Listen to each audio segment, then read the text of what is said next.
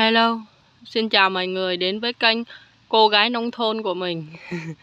Hôm nay mình xin uh, giới thiệu về mọi người uh, một số mèo nhỏ trong làm cúc mâm xôi.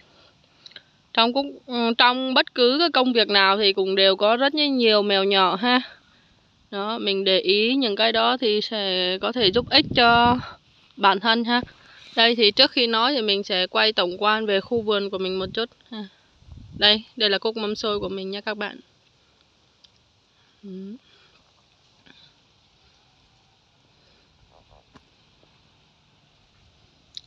đó, cái sân này đang ướt này, đang tưới nước rồi các bạn.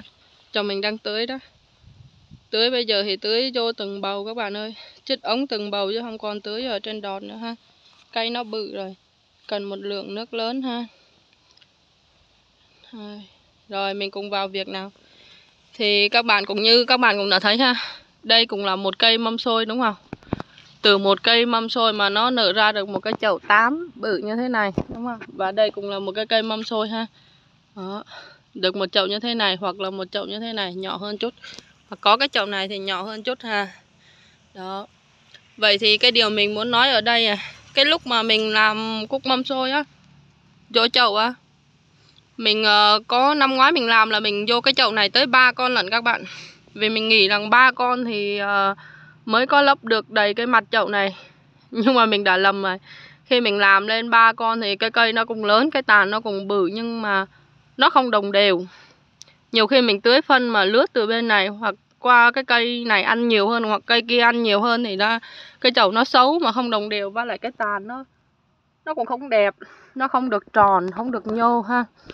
Trong khi năm nay mình làm chỉ có một cây thôi đó chỉ có một cái cây thôi thì um, mà cái cái nó đã úm được cái, cái chậu tám như thế này rồi. Đó.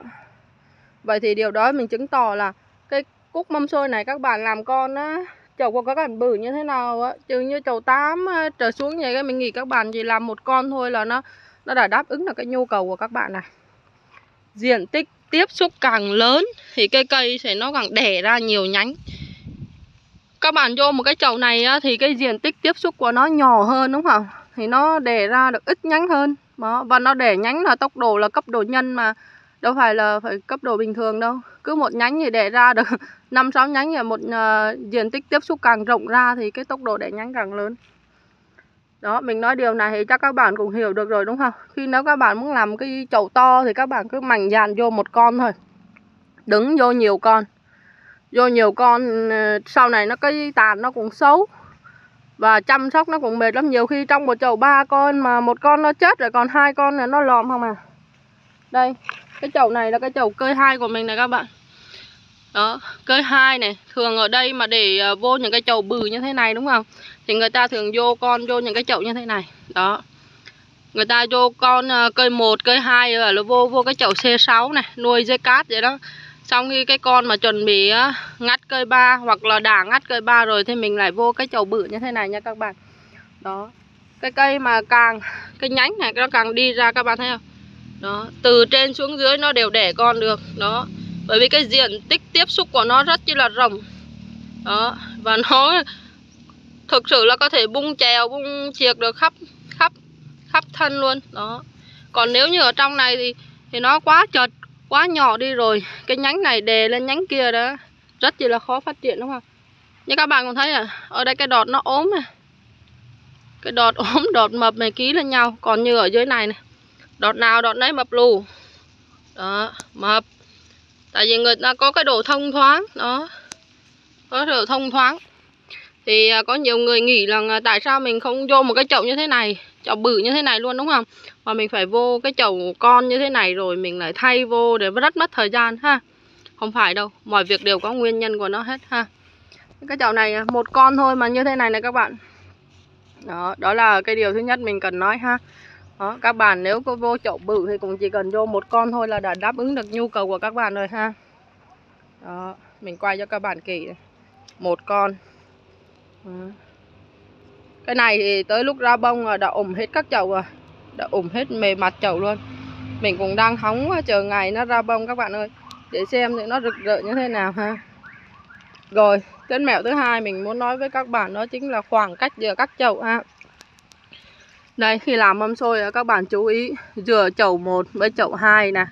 Rồi là rửa chậu 2 với chậu 3 để rửa chậu 3 với chậu 4 là cần có một cái khoảng cách nhất định nha các bạn. Cần có một cái khoảng trống như thế này các cây mà lúc mà cái tàn nó lớn lên, bự lên á, các bạn phải xê dịch ra. Phải xê dịch ra để làm sao? Nếu như các tàn này mà đụng vô nhau á, thì đụng vô nhau nó sẽ bị né nhau. Cái cây nó hướng nắng, nó sẽ né nói nhau và là điều thứ nhất, làm cho cái tàn của mình nó sẽ không được tròn, không đẹp ha. Méo xẹo, đó là điều thứ nhất. Điều thứ hai nữa là nếu như các bạn để gần nhau quá để gần nhau quá thì sẽ làm cho cái việc nếu như mà mưa thì sẽ dễ bị ủ lá. Đó, bệnh rầy nâu và đồ kể đó nó sẽ ủ ở dưới này này dễ gây ra những cái bệnh úi ủ lá này thối lá úng lá. Thì đó ở chỗ mình thì cứ một ngàn mét vuông thì người ta làm một ờ, ngàn cúc mâm xôi các bạn. Đó là ước lượng cái diện tích cho nó ha. Thì cũng tùy người nữa. Nhưng mà mình luôn luôn giữ cho nó có một cái khoảng trống để cho nhiều gió này có thể luồn vào được. Nó làm cho cái cây nó được ở trong tình trạng ấy, khô khô cái bộ lá ha. Khô cái bộ lá để có thoáng mát. Như vậy thì cái cây nó sẽ bớt được nhiều sâu bệnh đặc biệt là về cái mùa mưa nha các bạn. Đó và cái tàn nó cũng sẽ tròn hơn nhiều. Đó có cây nó xè cái tàn thì nó tròn cái này nếu mai mốt mà ra bông rồi thì nhà mình còn phải dì rời ra chút nữa. Chứ cũng không có để gần nhau quá. Gần nhau thì cũng không được ha. Đó đây mình cũng quay cho các bạn coi ha. Các tàn của mình thì đều có một khoảng trống nhất định ha. Này là hơi khít đó các bạn. Tại vì nhà mình đất nó cũng hơi hẹp nhưng mà giờ anh chồng mình thì cũng đang uh, dời ra. Ừ. Đây. Có một khoảng trống nhá tránh cái tình trạng mà cái tàn, hai cái tàn đụng nhau nha các bạn. Tại cây nào ờ, đụng nhau thì rất dễ có bệnh nha. Rất dễ có bệnh và cây tàn nó sẽ không được đẹp. Ôi, làm cúc là đó, các bạn thấy chưa? Của mình nó đều những cái tàn nó rất là to, tròn hơn ha. Đó. đây, khoảng cách giữa chậu này với chậu này cũng vậy này. Đó. Bên ngang, bên dọc, đó. đều luôn như vậy hết. À rồi cái mẹo thứ ba mình muốn chia sẻ với các bạn ở đây đó chính là nếu mà vô cái thời điểm mà cái cây mà đã làm bông rồi đúng không? Mình nếu mà trong cái vườn của mình mà có cái cây mà nó còn yếu bông ha, yếu nụ, yếu bông thì mình cũng tách riêng ra. Mình tách riêng ra, mình chăm sóc riêng và mình, cái cây mâm xôi này này các bạn, nó rất thích nắng. Nếu như mà có nắng thì, có nắng, có gió thì bông hoa nào cũng vậy thôi, có nắng, có gió thì hoa mới rực rỡ, mới đẹp được. Đấy, cái mâm xôi này nó rất thích nắng. Nếu như các bạn mà cái cây của các bạn mà cái cái uh, còi bông nó còn yếu như thế này thì các bạn xếp nó đưa nó tới những cái chỗ mà có nhiều ánh sáng nhất ở trong ngày. Đó như à, nhà mình giờ đang rời lên lộ các bạn. Đang còn rời những cái bông mà yếu lên ở trên đó đó. Phải cái vườn của mình thì nó thấp hơn so với mặt lộ cũng nhiều và mình đang ờ, rời những cái chậu yếu yếu lên đó để trên nó có nhiều ánh nắng hơn có nhiều ánh nắng hơn thì ờ, nhiều gió hơn thì cái cây nó sẽ ờ, ra trèo mạnh hơn nhanh hơn ha. Đó đây các bạn thấy không? Nó ra trèo nhanh hơn đó. Và trong tất cả các trường hợp thì những cái cây thì các bạn phải luôn cung cấp uh, cái lượng nước cho nó. Nha các bạn cung cấp lượng nước đầy đủ. Nếu các bạn tưới một lần mà không đủ các bạn tưới hai lần và thực sự tưới như thế này thì rất chậm đúng không? Nhưng mà đó là điều bắt buộc rồi. Nếu như các bạn mà tưới mà thiếu cái lượng nước thì cái cây nó sẽ dễ bị xỉu lắm. Tại vì mình đi phân thuốc nó hơi nặng hơi nhiều thì cái cây mà nó bị nóng nó dễ bị xỉu và xỉu thì mình khó cứu.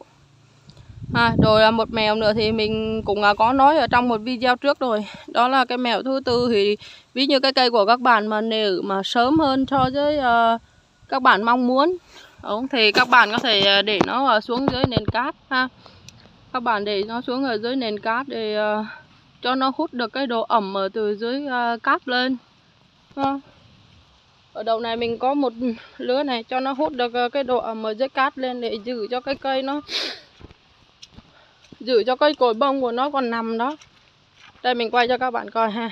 Mình cũng có một số và mình để ở dưới này mình để vậy à, mình không à, vẫn chưa lên đây. Cái này là nụ nó bự rồi. Ngoài tưới, phân tưới thuốc kiềm nó lại thì mình vẫn còn để ở dưới thế này này các bạn. Đó. Đó. như thế này thì bây giờ là đẹp rồi, là ok rồi đó các bạn. Rồi. Đó, các bạn thấy chưa?